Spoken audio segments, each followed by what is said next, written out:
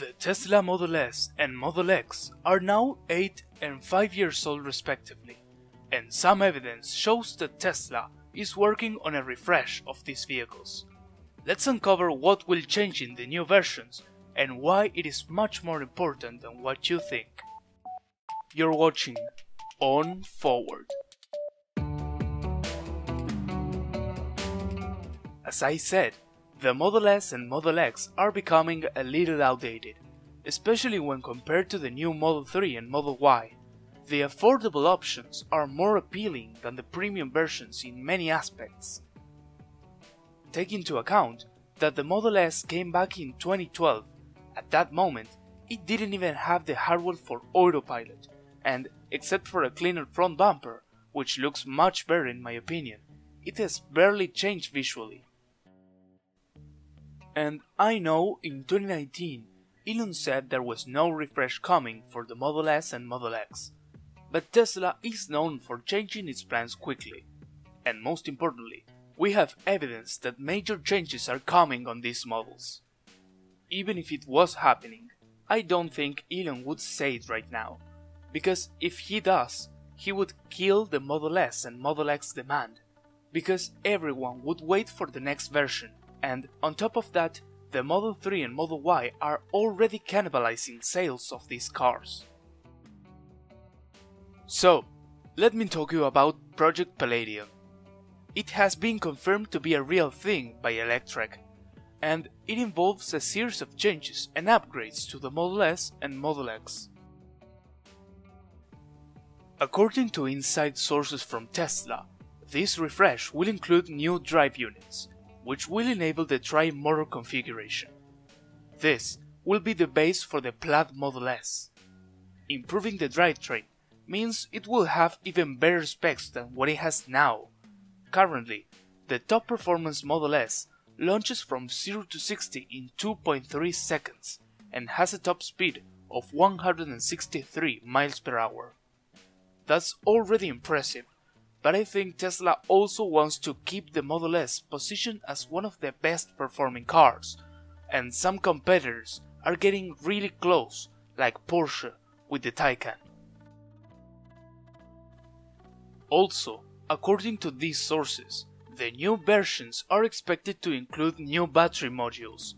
One possibility is that Tesla upgrades the battery cells to the 2170 version which are the cells used in the Model 3 and Model Y, but I think Tesla will go further with the upgrade. In my opinion, the new Model S and Model X will have the new batteries made entirely by Tesla, and this could mean it includes tech from Maxwell Technologies, such as the dry electrode coating. It could also have even better charging speeds, because for a long time the Model 3 and Model Y had better charging rates than the Model S and Model X, and that really makes no sense from a product tier perspective. Recently, Tesla updated the premium models, and now all the cars have the same maximum charging speed, which is 250 kilowatts. We'll probably know more about this new battery technology in the Tesla Battery Day, so consider subscribing so you don't miss out on that. I am calling this update a refresh, because on top of the technology improvements, it is supposed to also include an exterior and interior redesign. We'll start with the exterior. The Project Palladium also involves creating new production lines for the Model S and Model X, which means these body changes are significant. But I have a hard time imagining how far Tesla will go. Will it be similar to the modified Model S we saw at Nürburgring? Or Tesla will go crazier with the design closer to this rendering? Tell me what you think in the comments below. As I said, according to documents reviewed by Electrek, Tesla also plans to make an interior redesign for the Model S and Model X.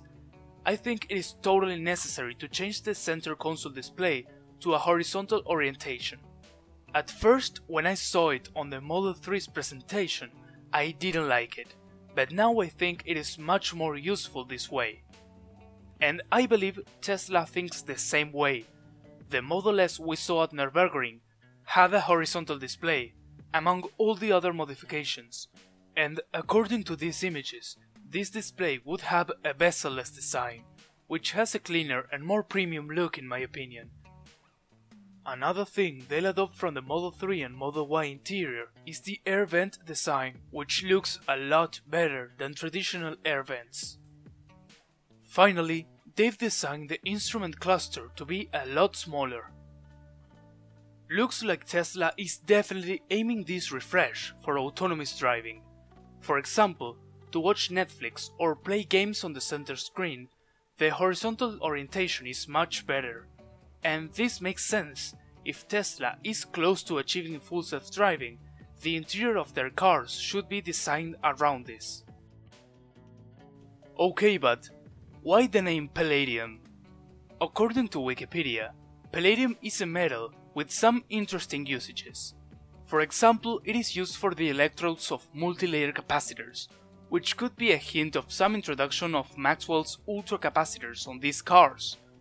But also it could be something much more boring, like some kind of Mach 2 ice cars, which use palladium for catalytic converters on their exhausts. Either way, it is an interesting name. The Model S and Model X didn't receive major changes in years, and they are starting to feel a little bit outdated compared to the new versions. You can see this in the vehicle deliveries graph. The demand for the Model S and Model X has declined significantly. Tesla needs to bring back the excitement for its flagship vehicles, and there is no better way of doing this than refreshing the design and make them more appealing than the mass market options and the competition, of course. I think Tesla will keep this as a secret as long as they can, so the current Model S and Model X demand doesn't suffer even more. If they announce the refresh now, Everyone that is thinking on buying a Model S or Model X now will probably wait for the new version. I think these new models will be offered at a much higher price point, and this will mean better margins for Tesla on these cars. Thank you for watching all the way through. Here are two more videos that you may like. See you soon.